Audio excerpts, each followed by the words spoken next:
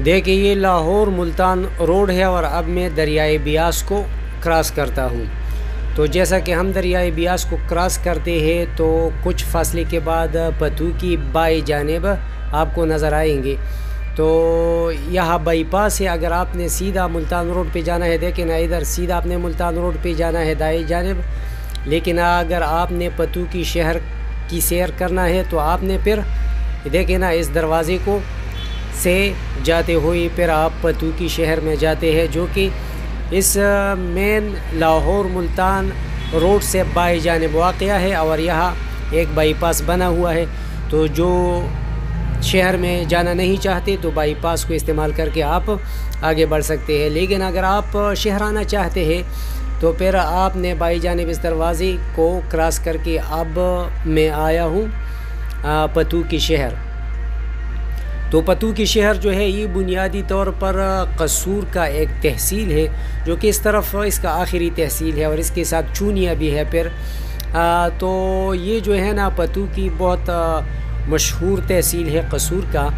यहाँ जो लाहौर मुल्तान का जो मेन रोड है, यहाँ पे वाक़ है और फिर उसके बाद जो है ना, मुल्तान रोड पे जब आप आगे बढ़ेंगे तो फिर अवकाड़ आता है और साहिवाल वगैरह। और फिर खाने वाला और मुल्तान और फिर आगे जाके आप जा सकते हैं, लाहौर कराची तक आप जा सकते हैं। ये मेन रोड है। तो ये पतू की शहर के बारे में कुछ मालूम आपको मैं देना चाहता हूँ। सबसे पहले तो बात यह है कि लाहौर से इसका फासला 80 किलोमीटर है। ये लाहौर मुल्तान जीटी रोड पर वाक़ है। सबसे ज़्यादा फूल और पलों की सरजमीन है। फूलों की तादाद पुलू की लातादाद नर्सरी शहर से निकलते हुए आपको मिलते हैं। जैसे आप शहर से निकलेंगे तो आपको पुलू की नर्सरीज़ मिलते हैं। और ये दरियाई रावी की मशरक़ी किनारे से 28 किलोमीटर के फासले पर है। यहाँ के पानी पीने के काबिल नहीं। ये बहुत बड़ा मसला यहाँ के ये है कि यहाँ के जो पानी है वो पीने के काबिल नहीं है। एक बड़ी पाइप के ज़रिए 20 किलोमीटर के फासले पर वाक़ एक कस्बे हल से पानी पतू के शहर में पहुँचाया जाता है।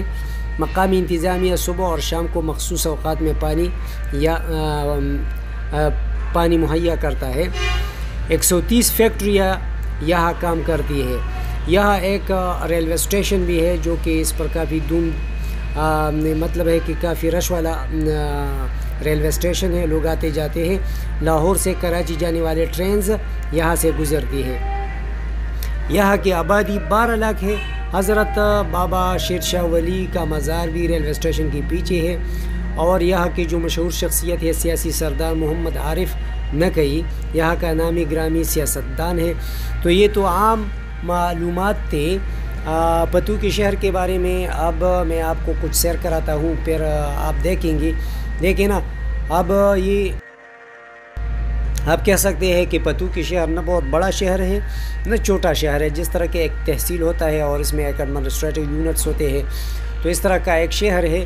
लेकिन यहाँ के जो मशहूर चीज़ें हैं, वो दो तीन है। सबसे पहले यहाँ ये रेलवे स्टेशन है, देखिए। ये रेलवे स्टेशन लेकिन इतना साफ़ सुथरा नहीं है, ये रेलवे स्टेशन के बाहर का हिस्सा है।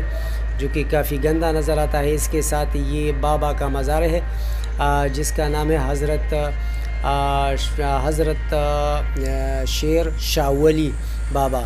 तो इसका मज़ार भी है, छोटा सा मज़ार है, हज़रत बाबा शेर शाहवली। और फिर ये बिल्कुल स्टेशन के आकब में है, इसके साथ ही है। लेकिन रेलवे स्टेशन जो है, यहाँ से लाहौर, कराची और मतलब है कि सारे जो गाड़ी होते हैं तो यहाँ से गुज़रते हैं। ये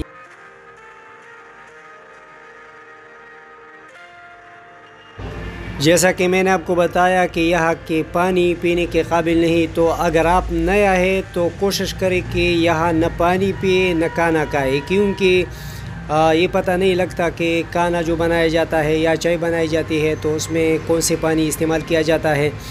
तो मैंने ख़ुद यहाँ खाना भी खाया और चाय भी पी लिया और फिर बाद में तकरीबन दो घंटे बाद मेरे पेट में सख्त दर्द हो गया। तो ये बहुत बड़ा मसला है आप एहतियात करें और अगर आबादी है तो कोई बात नहीं है लेकिन आ, मुझे ये मसला आया था मुझे पेट में दर्द भी आया था और रोटी भी बहुत बड़ा मसला था। तो चाय पीना और खाने से कोशिश करें कि न खाए अगर आप इसके आदि ना हो। और अगर आदि हो तो फिर तो ठीक है। अब जैसा कि आप यानी मतलब है कि बाईपास है ना मुल्तान लाहौर बाईपास। ये रोड है लाहौर मुल्तान रोड तो बाईपास बना है तो बाई जानब कसूर, ये पतूकी का शहर है। फिर आप उसको क्रॉस करके फिर दोबारा बाईपास पे आ सकते हैं। तो जैसा कि आप बाईपास पे आएँगे तो ये पोलू की नर्सरीज़ है। और ये पाँच किलोमीटर के फासले पर पहला हुआ नर्सरीज़ है, और यह जो है ना, करोड़ों की इस तादाद है फूलों और पौधों की। और यहाँ हर किस्म का पौधा आपको मिलेंगे। फूल मिलेंगे। और ये जो है ना, एशिया का सबसे बड़ा जो नर्सरी है तो ये है, यहाँ मतलब है कि ये मौजूद है इस मेन रोड पे। तो ये पतुकी के बारे में मुकम्मल मालूम थे अगर आप चाहते हैं कि पाकिस्तान के मुख्तलिफ़ छोटे बड़े शहरों की सैर करें, तारीख़ी और सियाहती मकाम की सैर करें और दुरुस्त मालूम हासिल करें। इसके अलावा अगर आप चाहते हैं कि पाकिस्तान के मुख्तलिफ़ इलाक़ों के कल्चर देखें सकाफ़ती मेले देखें जश्न, त्यौहार इज्तमात और देहाती इलाक़ों की ज़िंदगी देखें तो इस मकसद के लिए इस चैनल को सब्सक्राइब कीजिए और इस वीडियो को भी लाइक कीजिए। आपके देखने का बहुत बहुत शुक्रिया। अल्लाह हाफिज़।